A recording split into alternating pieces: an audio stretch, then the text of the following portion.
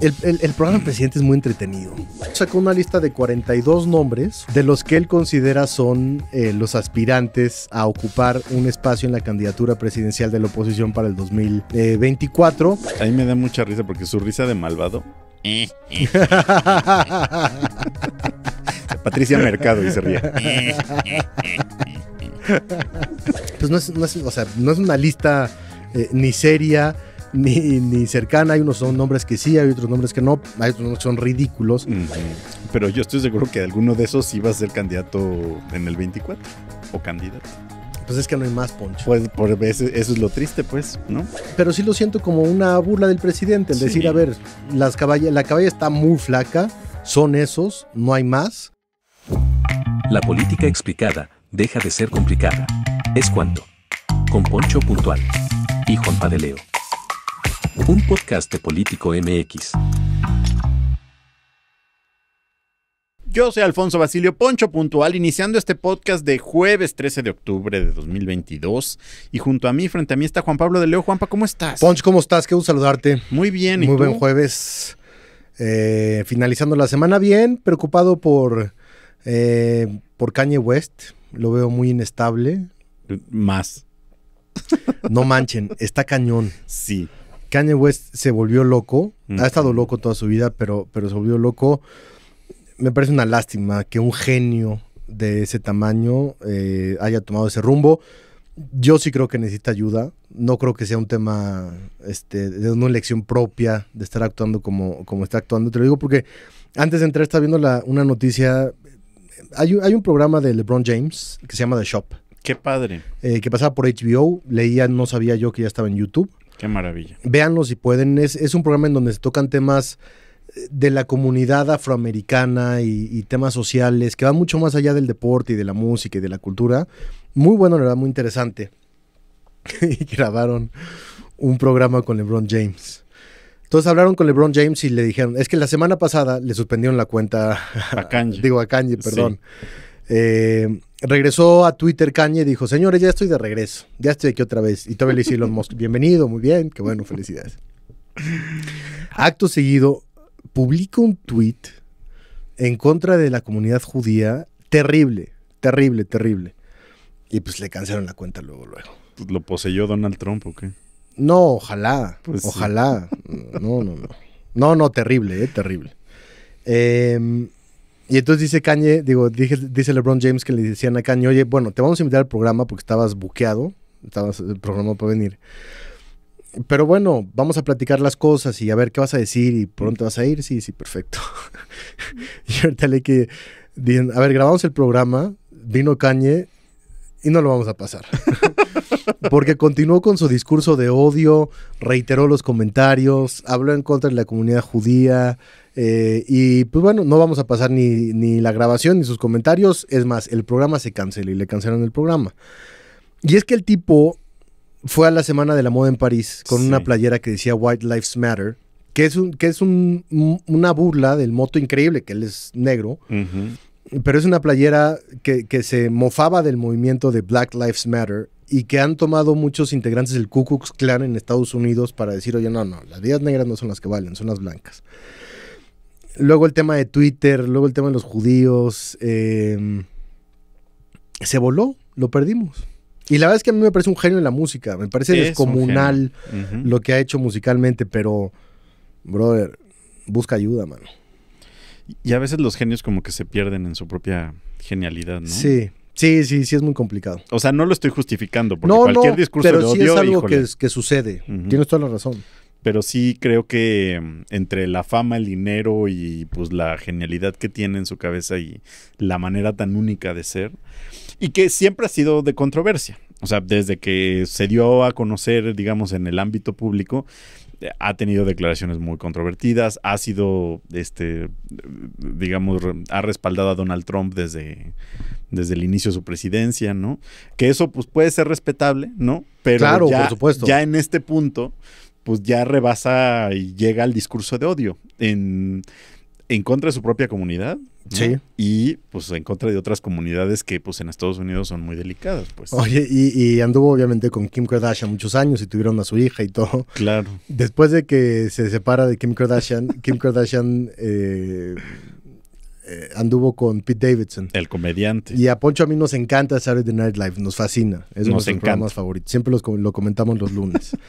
Eh, y en un stand-up routine que hizo eh, Pete Davidson, decía, ¿ustedes bien? Yo, yo muy bien. Kanye West me quiere matar, pero pues fuera, fuera de eso todo bien.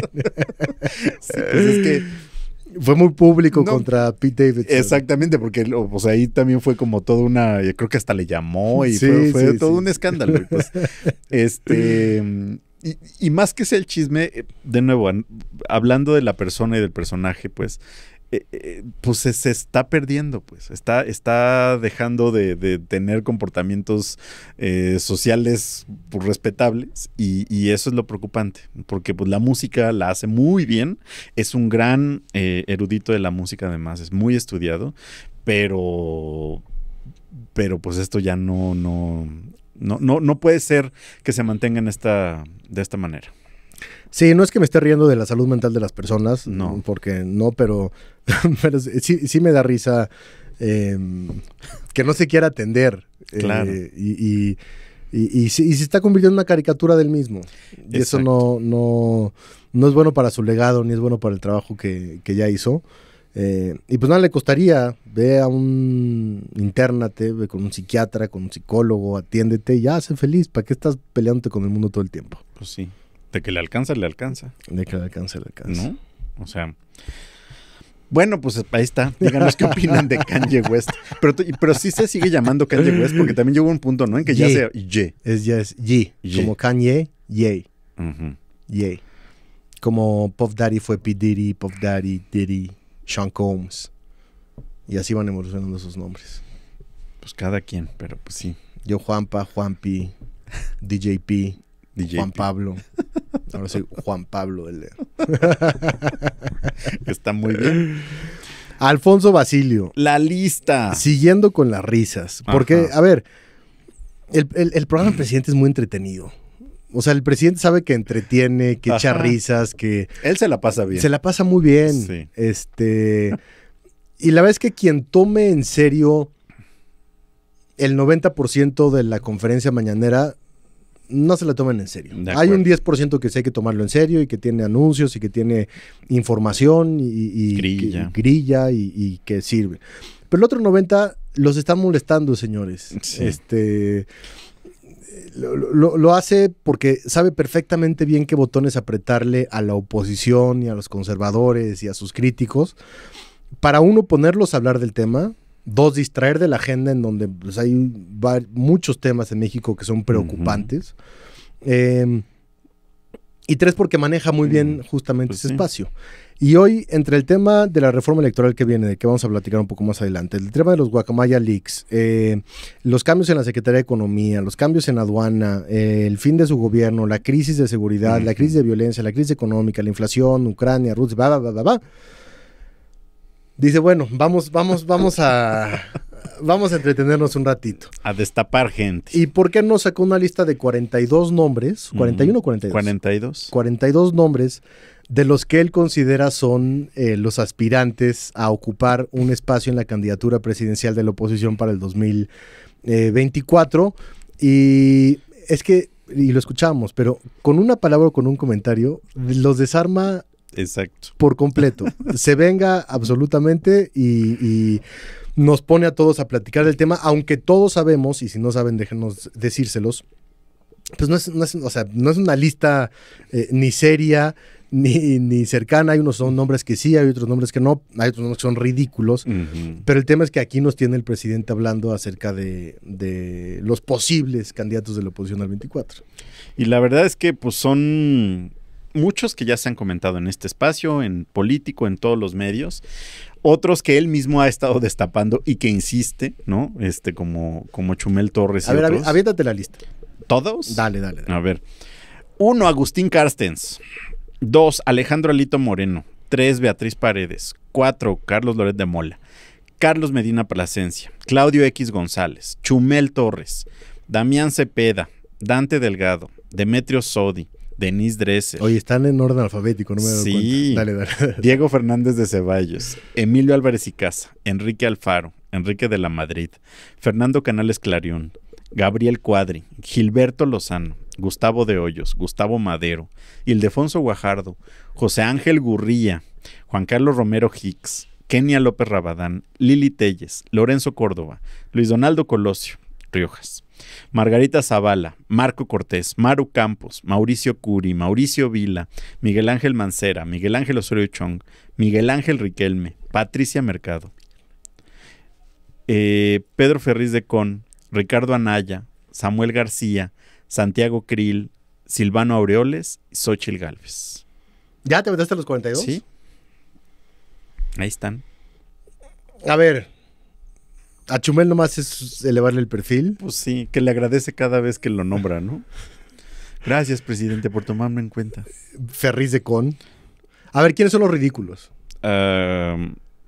Yo creo que Carlos Loret, Chumel, Ferriz, eh, Denis Dresser, Gilberto Lozano. Carstens yo lo vería como ridículo Claro, porque no hay manera, claro. ¿no? O sea, Mi pobre Agustín, que ni, ni culpa ni ver en el entierro tiene. quiere regresar a México. pobre Carstens, pues qué. lo extrañamos mucho, eso Sí, sí, mucho. Lo extrañamos mucho, pero Silvano Aureoles también se me hace de, de- de broma, pero él ya se Ya, destapó. claro, claro. Ese sí, Entonces, sí está correcto. ¿no? Eh, yo creo que esos son los de broma. Jo- José Ángel Gurría también. Porque digo, un señor muy respetable, pero pues también ya no sí, sí, sin chance. ambiciones políticas. Ajá. ¿no? O sea, personajes que no, que no eh, estén dispuestos a asumir una candidatura, ni que le estén peleando, ni que estén ahí buscando hueso, ni mucho menos.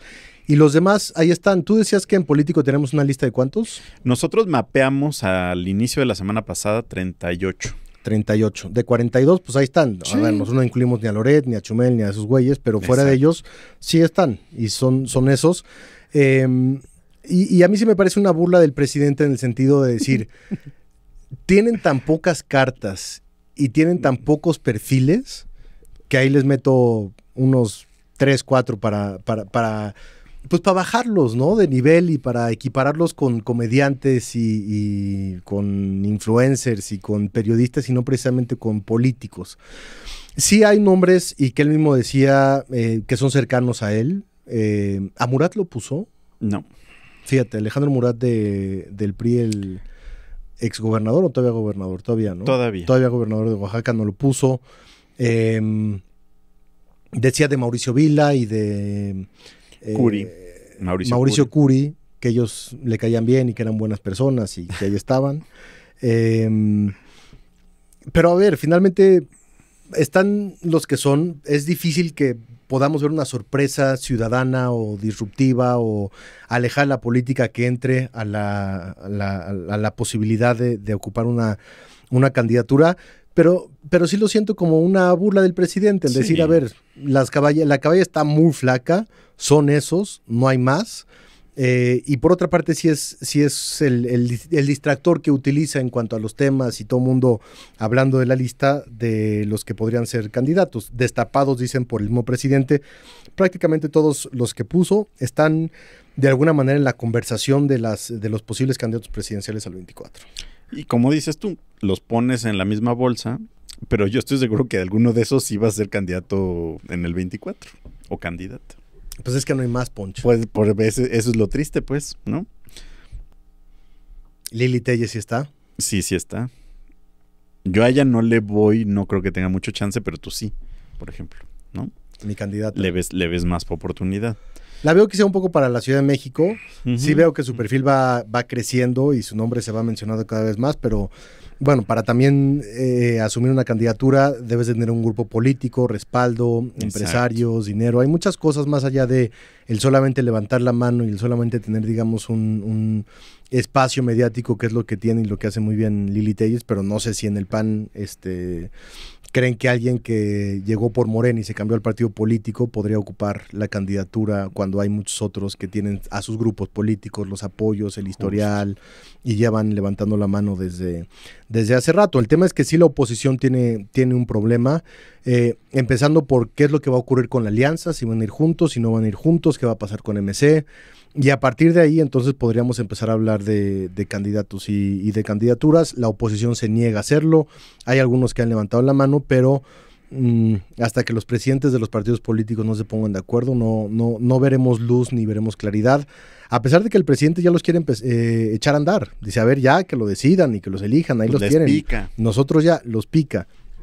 Porque también le conviene a él esa conversación electoral, que es una conversación mucho más entretenida en general que estar hablando de la economía y estar hablando de la violencia y estar hablando de la política exterior y estar hablando de muchos otros problemas que, que tienen pendiente. Pero otra vez, él lo, lo sabe hacer y lo hace muy bien. Y esta lista no tiene ninguna otra intención más que apelar a la opinión pública y poner sobre la mesa un tema que nos llevaría años discutir respecto a quién sí, quién no, por qué sí y por qué no. Exacto. Ahí me da mucha risa porque su risa de malvado. Patricia Mercado y se ríe. Vea que sí les así. Por favor, deja de hacer famosa a la gente idiota, eh, presidente, y ya, o sea, deje a Chumel en paz porque... No le encanta Chumel. Yo sé, pero sí, pero ¿por qué lo, por qué lo sube al ring? Pues para igualarlo con. Pues sí, pero no, hay que hacer famosa a la gente idiota, de verdad. Bueno, eso también se lo tendré que decir a Radio Fórmula y a muchos otros. Pues yo digo. Ahí nomás, ¿no? Pues ahí está la lista, echen un ojo eh, y entreténganse, diviértanse, hagan sus quinielas, apuesten y ya en un año sabremos Exacto. quién queda. No hay luz, no hay luz. No, no, hay ni uno, no, no pero hay yo. De, de esa lista va a salir. pues sí. Uno Es cuando que no hay menos. nadie más. No hay nadie De más. acuerdo. Y no va a haber una sorpresa milagrosa. ¿no? De acuerdo. Ya queda, queda poco. Falta poco. Falta poco.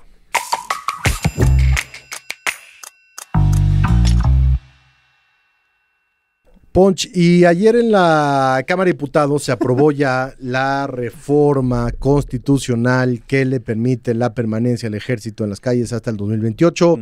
Tema sellado, tema saldado, tema discutido, tema aprobado. Vámonos a otra cosa. Next. Porque después de estar hablando del tema de seguridad por eh, a lo largo de todas estas semanas, ahora el tema será el INE.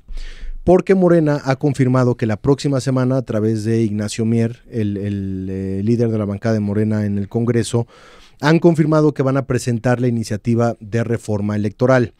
A ver, ahí ayer el secretario de Gobernación, Augusto López, decía que la alianza que ellos tenían con el PRI pues, era una alianza fructífera y que iba más allá del tema de la seguridad y que les iba a permitir avanzar su agenda política de aquí al final del sexenio y que venía el tema de la reforma electoral. Ayer decía Alejandro Moreno, lo dijo también en conferencia de prensa el presidente del PRI, que el gobierno solamente quería distanciar y romper a la alianza y que ellos por lo pronto no van con la reforma electoral. Todos nos estamos haciendo esa pregunta. ¿Qué es lo que va a hacer el PRI con respecto a la reforma electoral? Ellos han dicho que no le van a entrar. Eh, Pero hablan de no le vamos a entrar a dañar la autonomía del INE y del Tribunal está, Electoral. Está. Esa es la clave, creo yo. Porque escuchando a Ignacio Mier lo que decía es, estamos dispuestos a presentar un dictamen, dictamen híbrido que incluya las propuestas de otros partidos. Haz de cuenta lo de la Guardia Nacional, Sí, lo mismo, lo mismo. le metes un par de cositas. Y lo que decían es eh, que van, por ejemplo, por un tema de menos consejeros en el, en el Instituto Nacional Electoral. Pues eso no, o sea, eso puede entrar dentro de esta discusión, decir, a ver, no estamos tocando la autonomía, solo estamos reduciendo el número de consejeros. Exacto. Sí es una reforma que tiene un- un- una dirección muy clara, que es contra Lorenzo Córdoba y contra Ciro Murayama. Eh, y sí hay muchos temas que hay que revisar acerca de la vida democrática en nuestro país y Ah, de las sí. instituciones, y entre ellas el Instituto Nacional Electoral. Hay a quien no le parece que a dos años de una presidencia, de una ele- elección presidencial, se toquen las reglas. No hay nada que dicte en contra, pero es más bien un tema del deber ser, de decir, a ver, a dos años de, de una elección presidencial no debes de tocar las, las eh, reglas básicas de la competencia electoral que vive en nuestro país. Hay otros que dicen, pues cuando sea y cuando se haga y, y que tenga. No hay eh, un límite establecido, eh, o si, si no, corrígeme, respecto a que a casi dos años de la elección presidencial tú no puedes hacer cambios en, en las leyes. A dos años no, pero si estuviéramos a un año sí. A un año sí. Sí, es- a dos sí años está no. impedido en la Constitución que hagas, porque justamente pues puedes generar ahí. Entonces, impedimentos legales no hay. No, Eh, sí hay un bloque muy duro en contra de cualquier modificación electoral, encabezado por el PAN y encabezado por asociaciones civiles que dicen, si el presidente toca al INE, va a tocar la democracia y entonces va a venir la, la- la predominancia de Morena a lo largo de los años y no lo vamos a poder sacar y tal. Y hay quien dice, a ver, la propuesta presentada de reforma electoral, que no es precisamente la que van a presentar, la ambiciosa que hizo Alejandro Encinas y Pablo Gómez. Pablo Gómez. Esa no va. ¿Y quién más? Ricardo. o- alguien más estaba, ¿no? Horacio Duarte. Horacio Duarte. Horacio Duarte. Eh, e- esa me parece que no va. No va. Pero sí un tema que tenga que ver con los consejeros. Eh, ya esta semana le tocaron el tema del dinero al INE, que no se podía retener el 50% de las multas, sino solamente el multas. 25% de, del, perdón, de las multas. Eh, y ya la estaremos conociendo la próxima semana, pero la gran pregunta aquí es qué posición tendrá sobre todo el PRI, porque con el apoyo del PRI no Pasa. tendrán problema en, en el Congreso. Yo ahí sí el tema del Senado lo veo más complicado, eh, porque más allá de que sí hubo priistas que votaron a favor de esta reforma en seguridad, hijo, no sé si haya priistas en el Senado que estén dispuestos a tocar el tema electoral y del INE, O amenazas suficientes contra ellos, ¿no? O si ya se agotaron las amenazas. Exactamente. No, yo, yo lo que diría es, sí, creo que vamos a ver una, una propuesta híbrida, ¿no? En donde algunos priistas van a decir, bueno, no estamos tocando la autonomía, ¿eh? Pero sí va a haber temas administrativos que hay que revisar. Y creo que, sin que yo esté de acuerdo, porque pues, ahora sí que necesito ver qué están proponiendo. ¿Cómo viene? eh, va a haber mucha cuestión administrativa para reducir el dinero, para reducir gastos, para reducir tamaño del INE o de los OPLES, ¿no? Del Tribunal Electoral igual. Hay un tema que, que sí traen los diputados en la mira y que creo que ahí sí va a ser aprobado eh, de manera mm, considerable por la mayoría, que es que el Tribunal Electoral no se pueda meter en la vida del Poder Legislativo, como ya ocurrió en esta legislatura en donde lo obligaron a modificar la mesa directiva, este, porque no habían incluido MC, y los legisladores se enojaron mucho porque decían, esto no es tema electoral, esto es tema Yo de la estoy de vida. acuerdo con eso, sí, ¿eh? creo que tienen razón. Eh, pero, pero yo reitero, como que ese gran este, titán que habían construido para deshacer al INE no va a pasar, no hay manera. Más bien lo van a ir deshaciendo, le van a meter algunas cosillas, pero lo que sí es que no creo que salgamos de esta con un INE, digamos, con tanto presupuesto o con tantas facultades como el que tenemos en este momento que estamos grabando, ¿no? Va a ir reduciéndose poco a poco y vamos a ver para la siguiente legislatura. Sí, yo creo que lo que sí me parece, a ver, yo sí creo que el INE necesita una reforma, sí creo que nuestra democracia no es una democracia, sí creo que nos permite el, el- el voto libre y secreto el día del voto, Sí. pero nuestra democracia funciona a través de dinero oculto, de crimen organizado, de recursos en efectivo, de recursos no reportados, de trampas, de, de- de atajos. eh, que no, que no garantizan la vida democrática. O sea, creo que hay que hablar de un tema de transición y de jornada de votación, en la que estoy de acuerdo, pero hablar de democracia en nuestro país me parece muy aventurado eh, cuando no tenemos un Estado de Derecho, cuando tú y yo sabemos perfectamente bien Sí. cómo funcionan eh, eh, eh, la- las campañas electorales y todo lo que, lo que hay detrás. Y eso no es una democracia, eso es una simulación y no le hemos entrado a ese debate, porque por una parte están los que defienden a línea ultranza y, y dicen, si tocan al INE se muere la democracia en nuestro país. Pues brother, no estás viendo cuánto dinero se está moviendo, no estás viendo quién está donando, no estás viendo cuánto están donando, no estás viendo el crimen organizado, que no tiene que ver con la jornada, jornada electoral per se, pero sí tiene que ver con todo el proceso. Y hay quien dice que el INE no sirve para absolutamente nada, que está Mm. lleno de corruptos, que, y tampoco, ¿no? Entonces, como siempre son los grises entre los blancos y los negros, y no, no se va a dar espacio ni tiempo para una verdadera discusión en donde eh, platiquemos y, debatamos respecto a la vida democrática de nuestro país, sino que más bien estamos en las politiquerías de que si sí te unes o no te unes, quién vota, quién no vota, y vámonos todos contra Lorenzo Córdoba y los otros poniendo sus eh, castillos de arena para defender eh, algo que también es muy criticable. Yo te diría totalmente de acuerdo, ¿no? Creo que se requiere reformas en ciertos sentidos. Y no es que yo sea periodista porque no lo soy, pero a mí me parece que la relevancia es que no se toque la autonomía de estas instituciones. ¿no? La autonomía estoy de acuerdo. La autonomía me parece que es importante mantenerla, ¿no? Hay otras cosas que requieren una revisión profunda, sobre todo gasto, presupuesto, y ciertamente cier- muchas facultades, por ejemplo, también de revisión a medios de comunicación que parecen este, pues, la Santa Inquisición y Sí, no, sí, no- sí. no va por ahí, ¿no? Tiempos tiempo aire, este... Exactamente. Esos son los dolores de cabeza que generan toda la cantidad de spotiza eh, y los spots que publican los partidos políticos vacíos, eh, irrelevantes, eh, eh, que solamente terminan por hartar a las personas y alejarlas del- de la política, de la conversación. Exactamente. Y que sí no, no contribuye a una discusión democrática eh, en nuestro país, ¿no? Sino más bien que hemos hecho reformas electorales y que creo que esta también es pues a conveniencia o de quien está en el poder o de quien o de, De quien perdió la elección. Porque muchas de estas reformas electorales de los años anteriores han sido porque Andrés Manuel se quejaba con el PRD, ¿no? Y, sí, estamos y bajo un modelo electoral que le permitió a Andrés Manuel llegar al poder aunque no les gusta aceptar. y a la oposición nacer y establecerse. Sí, claro. Y lo que sí no van a tocar, pero que deberían en un modelo electoral es quitarle dinero a los partidos políticos. Que eso sí es del centro Pero del en ese tema no nos vamos a meter porque tenemos partidos muy competentes, este Ajá. partidos transparentes, Sí, con ¿verdad? credibilidad, con Ajá. rendición de cuentas. Todos. Este, no, no, es que la vida política en nuestro país es de una altura. Y necesitan tanto varo. ¿no? Sí, sí, sí, pobres. Sí, sí, sí. Quítenles el dinero, Quítense el dinero. por favor. Sean congruentes. Y quítenselo al INE también. ¿No? Y dénoslo a nosotros, que sí trabajamos. O sea, nosotros no, no, pero No, a, sí, a a los todos. pues. contribuyentes. Ajá, sí, sí, a los ciudadanos. Zánganos. La verdad.